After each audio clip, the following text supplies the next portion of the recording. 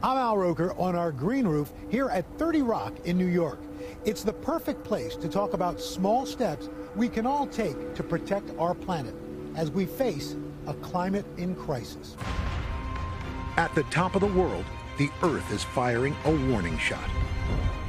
A huge factor in sea level rise is happening right here in Greenland. Greenland has enough ice to raise sea levels globally by 25 feet. With temperatures rising, Hundreds of millions of people around the world would be affected. cities are at risk. But while that may seem like a problem years away, right now, This should be one of the best summers of their lives. everyday life is already changing. We are trying to make the world aware of this. And livelihoods are already being threatened. We probably lost something in the order of about 500 customers this summer. So I just hit the permafrost. You just hit the permafrost. In Alaska, we go underground to see what's thawing beneath the surface. NBC News Now presents Climate in Crisis. We've all heard the words climate change and global warming, but we don't always discuss how we're all playing a role in it. Over the course of this program, we're hoping to pull back the curtain on what those changes mean and perhaps what can be done about it. But to begin, Deborah Basket takes us back about 150 years. From sweltering heat waves to rising seas, the effects of climate change are being felt all over the globe. Since records began being kept in the late 19th century, the 10 warmest years on record have all been set since 1998. And the four warmest, they've each been set since 2014. But some people still doubt that climate change is real. But here's how we know it is. Burning fossil fuels releases carbon dioxide into the atmosphere, trapping heat and creating a greenhouse effect. And this warms the Earth. Now, in the US, the source of this pollution isn't smokestacks, it's how we get around. And Americans are driving more, flying more, and buying more. And that free next day delivery we love so much comes at serious environmental cost. Globally, sea levels have risen by about 8 inches in the last century. Now, that might not sound like much, but in the past 2,000 years, they barely changed. The cause is melting ice. In just seven years since the turn of the century, the amount of ice that has melted around the world would be enough to cover the entire United States a foot and a half deep. And all this warming began in the 1800s in the industrial age when we started burning fossil fuels for energy. Even if you don't feel it yourself yet, climate change is already touching on every aspect of our lives, from how much we spend on groceries today to how much our commute might cost tomorrow to where we might decide to live in the future. Slowing down climate change will take major global policy, but there are things that we can do, like considering what we eat and how we travel, that can make a difference. Also making a difference, tropical waters now creeping north into the Arctic and causing glaciers to melt at a more rapid pace. I got a first-hand look at it as I traveled with NASA scientists to Greenland. Greenland, a massive island at the top of the world and one of the most remote places on Earth. This breathtaking landscape is ground zero for climate change, where the Arctic is warming twice as fast as anywhere else on the planet. I traveled to the tiny island of Kulusuk to better understand what all these changes mean for us back home. Why should they care about what happens up here in Greenland? For us, Greenland is a bit of a canary in the coal mine. New York University professor David Holland and his wife Denise are conducting research here.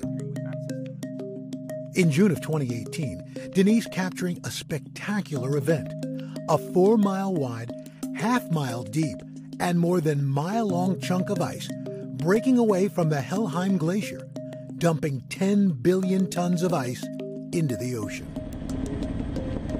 They didn't know they were in for yet another one in 2019. a plume opened up directly in front of the glacier. And so we hovered over it and launched a probe. What's really surprising is the warm water. It came all the way up through the glacier, right to the top of the ocean, bubbling up and melting the glacier like crazy. We measured it top to bottom, and it's all warm. There's no cold water anywhere. This groundbreaking discovery tells scientists that the speed of glacial melt may have just doubled.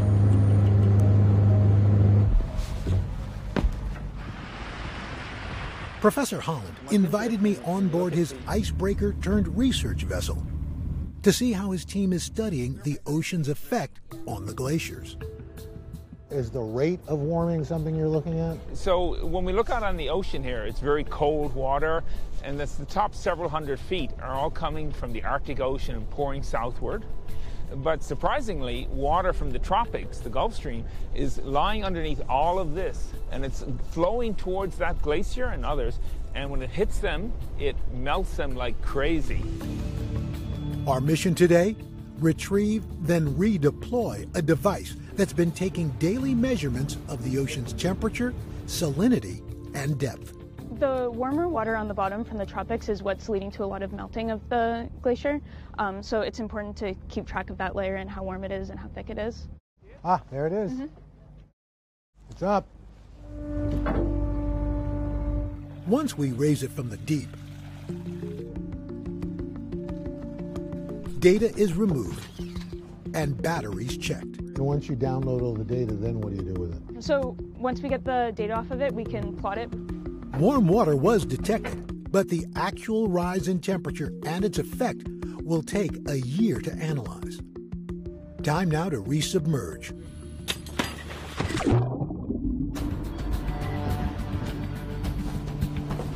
Next, we take to the skies. With NASA's Oceans Melting Greenland mission, better known by the acronym OMG. Two, one, drop, drop, drop. Similar to the NYU team, scientists are deploying probes to measure the temperature and salt content of the water. Greenland has enough ice to raise sea levels globally by 25 feet, which is an enormous amount. If that much sea level rise happened today, hundreds of millions of people around the world would be affected. Do we have clear signs of climate change where we're flying right now? Absolutely. We can see, especially in Greenland, the impact of the warming through the retreat of the glacier. The extent of ice melt here in Greenland will actually help determine just how high sea levels will rise.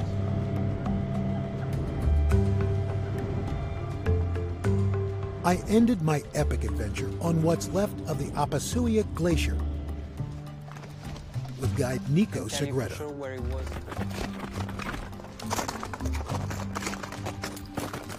Nico, what, what did this glacier used to look like? The glacier height was at the height of the mountain right there. So this to me is a very big volume of water that today is in the ocean Right. and is not on land anymore. All this ice that's fallen off, we've been hearing it and seeing it, and it's going into the ocean. What happens? It's very important here, standing on ice, to realize that we are on the first step of a domino effect that then later we call climate change. Places like Greenland do offer a first warning about climate change. But just a few miles from where I'm standing, warming waters are already changing family vacations in a very different way. Ann Thompson takes us to a New Jersey lake that's no longer what it used to be. You don't have to go to where polar bears live to see the impact of climate change. In fact, ducks will do just fine. This is Lake Hopatcong in the exotic locale of New Jersey. I imagine when we do this story, people are going to go, climate change? New Jersey? Mm-hmm, yeah.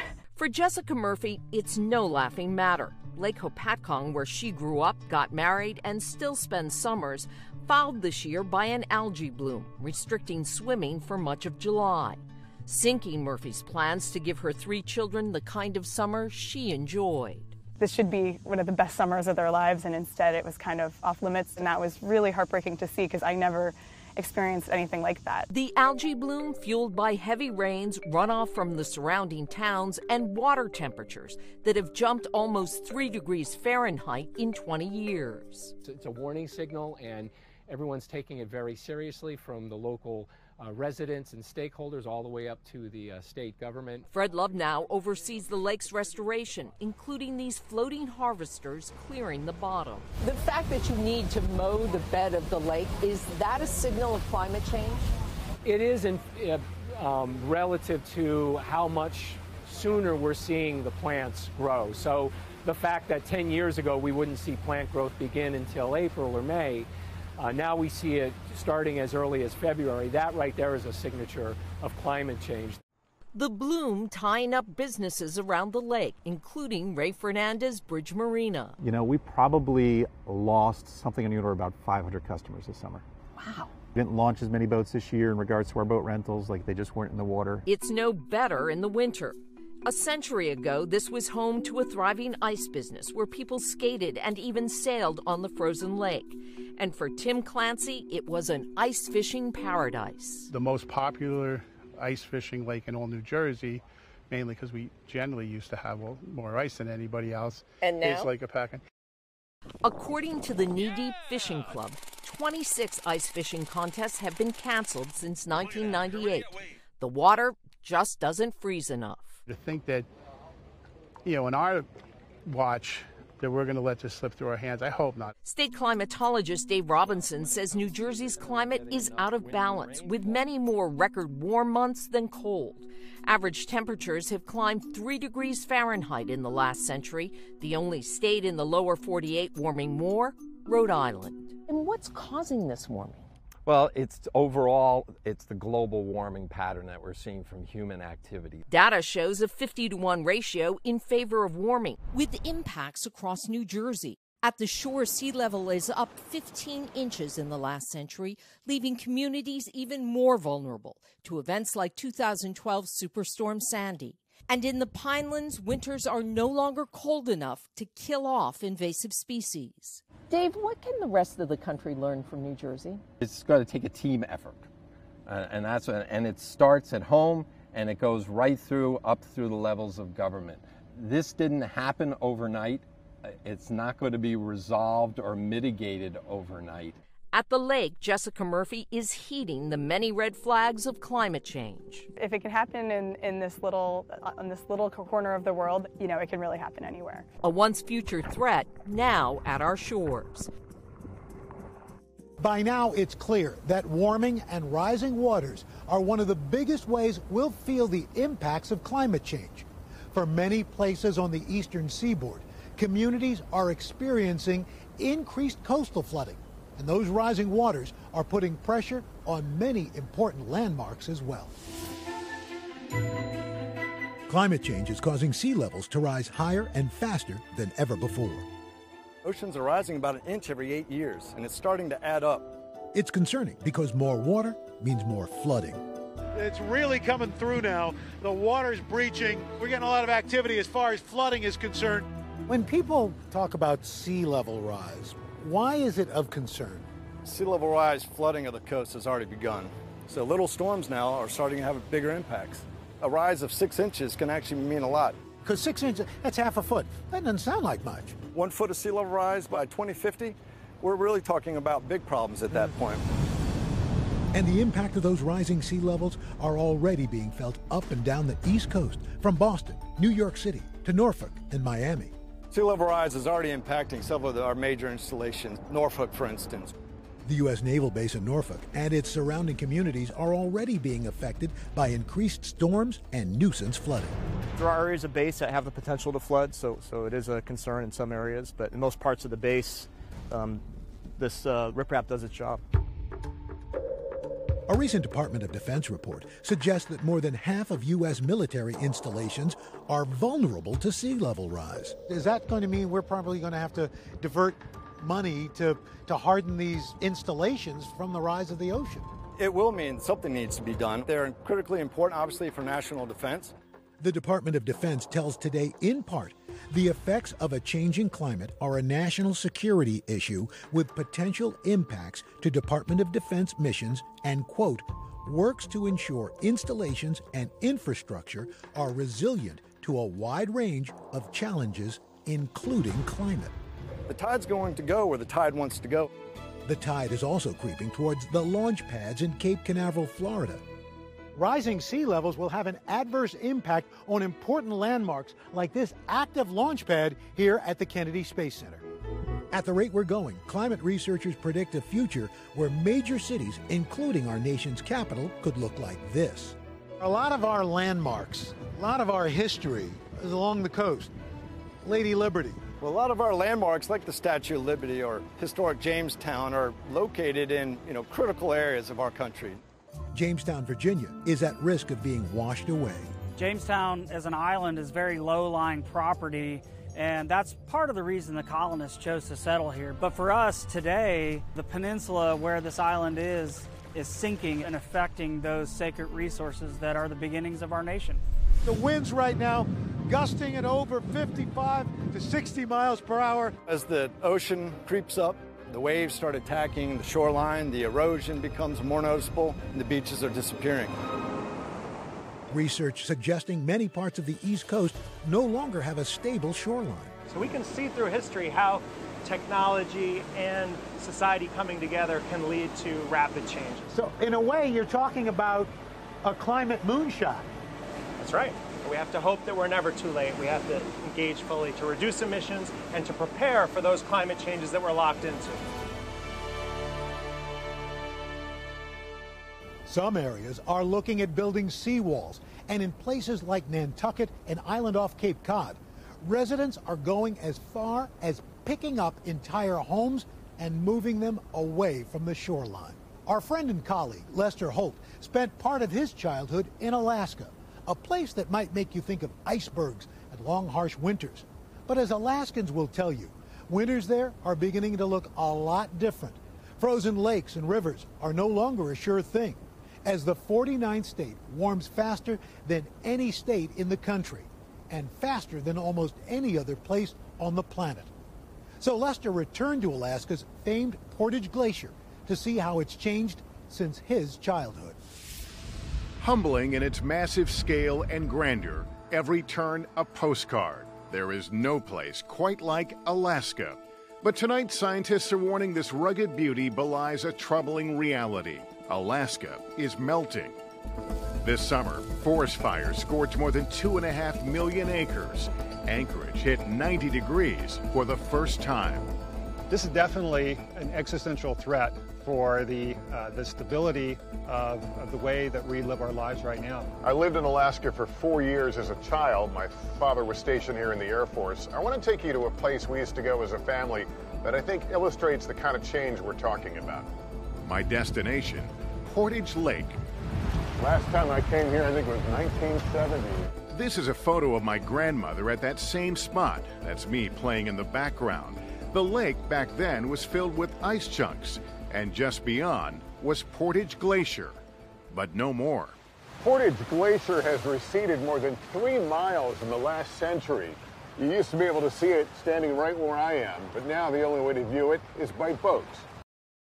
After a 15 minute sail, Portage Glacier finally reveals itself. What we're looking at now, at some point it retreats into the mountain. Absolutely. As long as our winters keep getting warmer, it, it's going to keep moving back.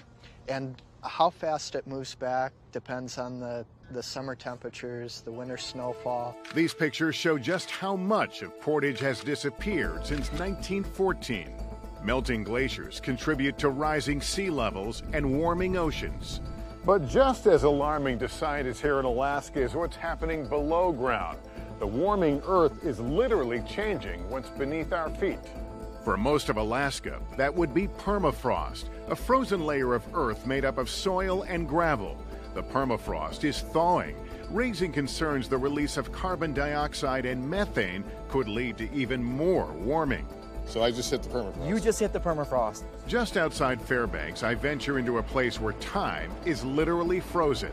The Army Corps of Engineers permafrost tunnels, where 40,000 years of Earth's history are studied. Ice, ancient grass, even woolly mammoth bones. Is that a, that a bone there? Yeah, good eye. That's a that's a mammoth bone. Uh, people love mammoths. Um, this is a steppe bison horn oh, right yeah, here. see the horn right there. Yeah. Yep. The tunnels, originally built in the 60s to study underground construction. Just kind of neat to feel how cold yeah. it is. Yeah, that's That's, whew, that's it feels cold. That's huh? solid ice. Yep. Now, that melting permafrost is heaving roads and sinking houses as temperatures rise. It's been a very long, steady warming, but the last 20 or 30 years in this area, that rate of warming has increased quite a bit. The Alaska of my childhood still remains largely untouched, yet alarm bells are ringing here.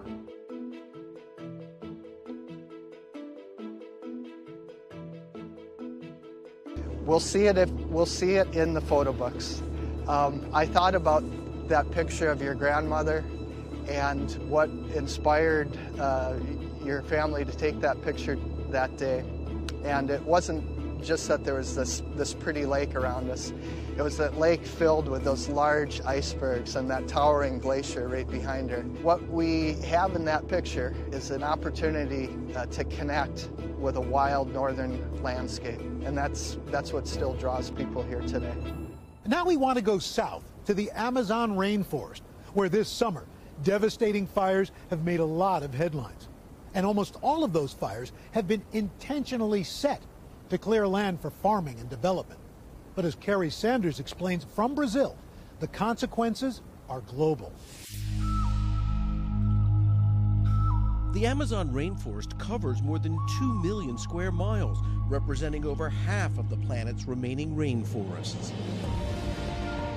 This vast jungle is home to the largest collection of plants, animals, and insects on Earth. Of the world's known species, 1 in 10 lives here. But it's how everything here in this rainforest works in concert that makes this part of the world so critical for everyone else. The lush plants here absorb carbon dioxide and release oxygen, an untouched environment with an impressive and telling nickname. The Amazon is often referred to as the lungs of the planet. What's going on there? Well, the, the Amazon is very important for containing global warming because the Amazon uh, holds so much carbon in the forest. And as we saw while traveling the Amazon, so much of this is now threatened by man as profitable agriculture and cattle farming claims what was Amazon jungle. Smoke from fires intentionally set to clear the land is filled with the same problematic carbon emitted by cars and power plants, and the Amazon is burning at a record rate. Just this year, 2,472 square miles of the Amazon have been destroyed by fires, almost the size of Delaware, a 92% increase over last year. It's fast disappearing. And that is not only a concern for you, but for the world? It's a concern for, for the world, for all of us. Scientists say once trees are gone, the rain cycle disappears and the land dries out. And on a scale the size of the Amazon, that shift impacts weather patterns worldwide. And, and changing air currents in the, in the atmosphere and, of course, through greenhouse gases and global warming. This is a tremendous global uh, problem. Scientists say destruction like this here in Rondônia, Brazil, have impacts far beyond the Amazon rainforest. In Iowa and across the Midwest, climate scientists say they're already seeing changes in weather patterns, hurting corn and soybean farmers. And on the West Coast, it's predicted we'll see even more wildfires, a global cause and effect that traces back in part here to the vanishing Amazon. My colleague Al Roker was recently in Greenland and witnessed things, melts, changes there, related to what's going on here? Very much so, because global temperatures are increasing and uh, deforestation is one of the things that adds to that. Another problem when the trees are gone, so too is the shade, which means the Amazon River begins to heat up. Because the destruction of the rainforest has been happening for decades, scientists fear if just 3% more of the Amazon burns, it will reach a tipping point. If we lose all that carbon into the atmosphere, it will be very hard not to let the planet warm up exceedingly. The Amazon isn't only just the lungs of the earth, but it's home to thousands of medicinal plants, also a source of life saving medicines. So we wanted to ask Dr. John Torres all about this. So, Dr. John, tell me, uh, the Amazon, just how important is it when it comes to different kinds of medicines and different kind of conditions? Well, it's extremely important, and it's been basically the natural pharmacy that we've used over the last couple hundred years to get some of our own medications. As a matter of fact, globally, 80% of developing countries rely on these natural medicines for their basic health care needs. Here in the United States, there's been numerous discoveries based on medicines we found that they're using naturally in the Amazon that we've been able to synthesize and turn into our own medications. The force is saving lives, and it needs to continue to save lives. Are, are there even medicines that we haven't discovered yet that are still there due to the plant life and the flora and fauna that's that's at the Amazon? There definitely are medicines down there that we haven't discovered. Right now, they think that we've probably discovered less than 1% of what's available out there. And without those plant sources, we're not going to be able to discover new ones going forward. So you've got these medicinal plants all over the world, not just the Amazon, uh, facing these, these threats uh, environmentally. What, what happens to us if we continue to see this loss? Well, a lot of experts are saying that unfortunately, if these plants start going away, we're not able to get to this point where we can continue to have these new discoveries, especially with things like antibiotics. We're going to go back to pre 1950s medicine, where these diseases that have been eliminated essentially from our lives are going to be making comebacks. We're going to have a hard time treating them. Science isn't able to keep up that fast without these natural products, these natural products being not just in the Amazon, but in these forests and different areas across the world. It's important that we preserve that so we can continue continue to discover what's out there. Dr. John, good thoughts. Thank you very much. You Earlier, we talked a lot about sea level rise thanks to melting ice. But as waters warm, ice isn't the only thing being chased away. Here's part of my conversation with a Rhode Island lobsterman about what's happening to his catch. Would you say the waters are warming up rapidly? I'm only 38 years old, and to notice the waters warming in my adult lifetime, I would, I would call that rapidly. A scary shift, because as waters have warmed, the lobster haul here has plunged down from 8 million pounds 20 years ago to just 2 million in 2017. The lobsters, everything they do is temperature related. So mating, feeding, uh, migrations. There are now aggressive measures in place to protect the industry. Measure like that, but with a young family to support, we... lobsterman Greg Mataronas is concerned it won't so be enough. I don't want to think about having to do something else. Believe me, I do think about it, but I don't want do to have you really? to. Do you think about it? I do. Yes. I mean, I I still have a lot of work career left, and I just wonder if 20 years from now, if I'm going to be struggling.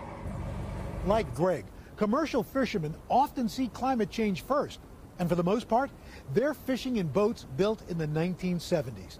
As one industry insider put it, imagine if all the cars on the road were from the 1970s. That's how dirty it is.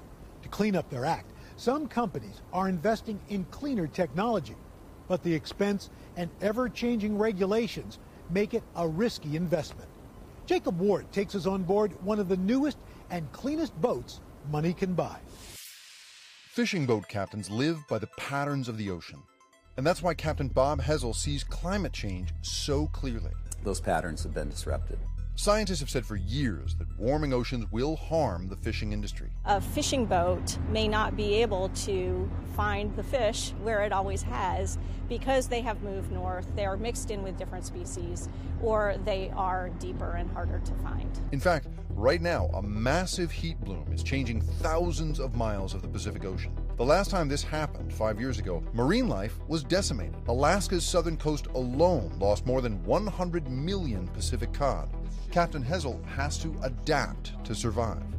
We have 35, 40 year old boats as an average up there, and that technology and, and those old engines and that older steel, I mean, that's just not applicable for where we need to go to be efficient. And that means he needs a new species of boat. This is America's finest, a 264 foot factory trawler. That's the term for a boat that has a whole factory in the hold. This one uses electric cranes, robots, and a crew of 49. I was always wondering how, how many more years I was going to be able to do it. But now on this boat, with the technology we have here, maybe I could do this for another 15, 20 years. So, why is this the first American factory trawler built on the West Coast in 30 years? One day you may have rights to fish certain species, the next day that may change. Uh, fishing quotas change. This year we may have a certain amount, next year we don't. And to make large capital investments in that environment is, is very difficult to do. American fishing is under two big pressures. The first is geopolitical. They're only allowed to catch a certain number of fish. They compete against other countries that don't abide by those restrictions, and tariffs have tanked the price of fish. The second is climate. The planet is changing. The oceans are warming, the fish are going all over the place. And so, this $80 million boat, built to go further north than ever before, is in fact quite common in other countries because it's exactly what they will need to fish in the future. But here in the United States, this boat is one of a kind. This has a, a lot of um, sophistication built into it, and like I said, it's state of the art um, in the world right now.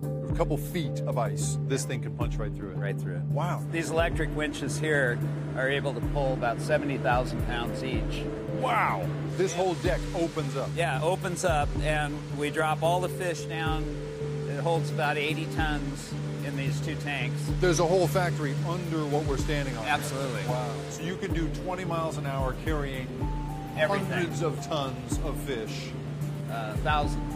Still, it'll take this boat a decade to pay for itself. And both the climate and the politics could change in that time.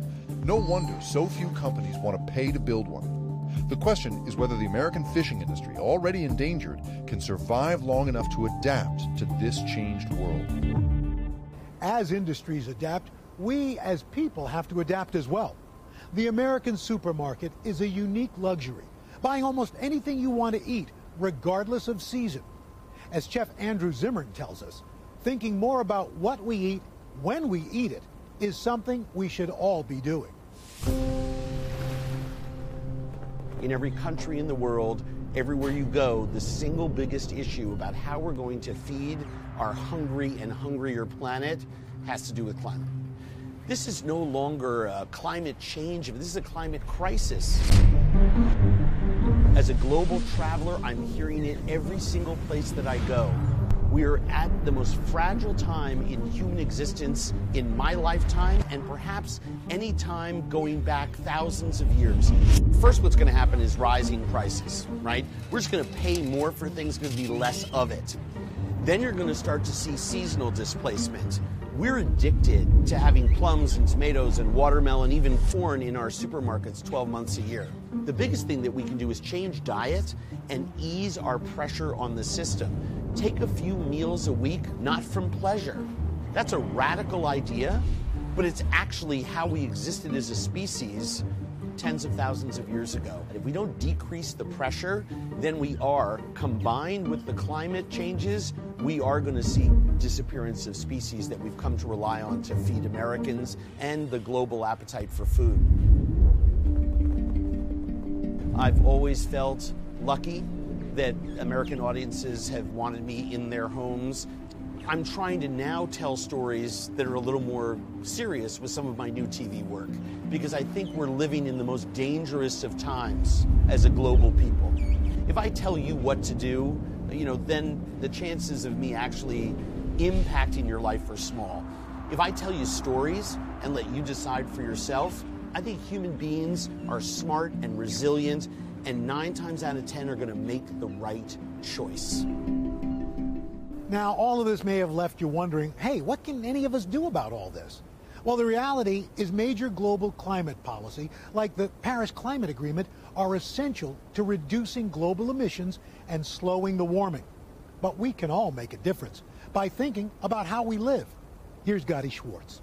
Saving the planet is a big job, but you, me, and everybody else on Earth has a carbon footprint, mostly generated by the energy we're using. So finding ways to reduce that are key.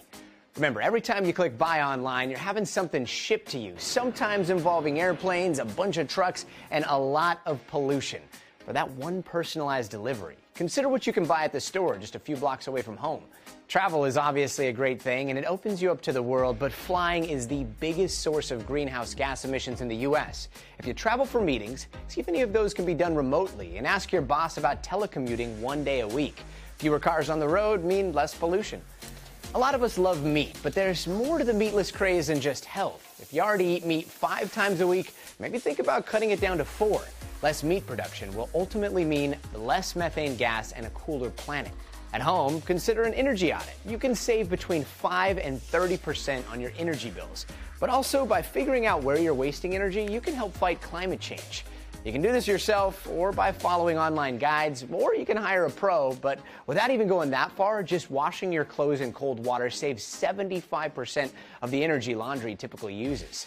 And if you're feeling a little guilty about all the carbon you're generating, you can offset some of those emissions by buying what are called carbon offsets. Some experts recommend the U.S. Forest Service Plant a Tree program. Those trees are being planted on American soil where they're protected, and many are going to grow to maturity. Just $10 buys 10 to 15 seedlings, and the more trees near us mean cleaner air here at home. Climate change affects everybody.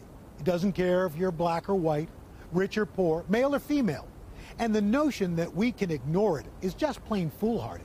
We are talking about the fate of our planet. We're seeing global temperatures rise at an alarming rate. We're seeing the world's oceans warming at an alarming rate.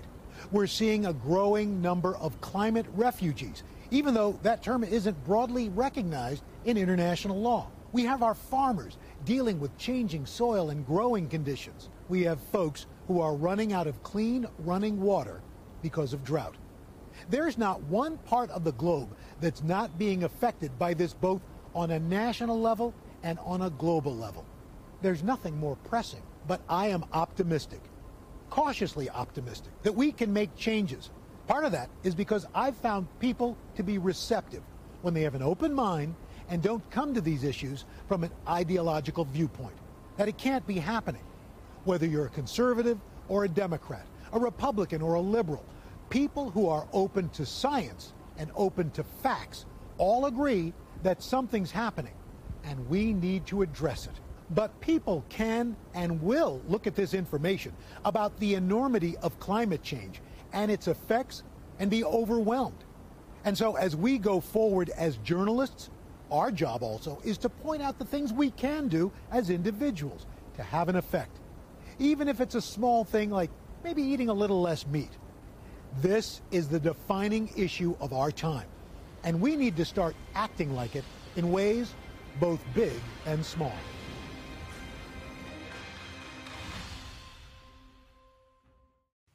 Hey, NBC News viewers, thanks for checking out our YouTube channel. Subscribe by clicking on that button down here and click on any of the videos over here to watch the latest interviews, show highlights, and digital exclusives. Thanks for watching.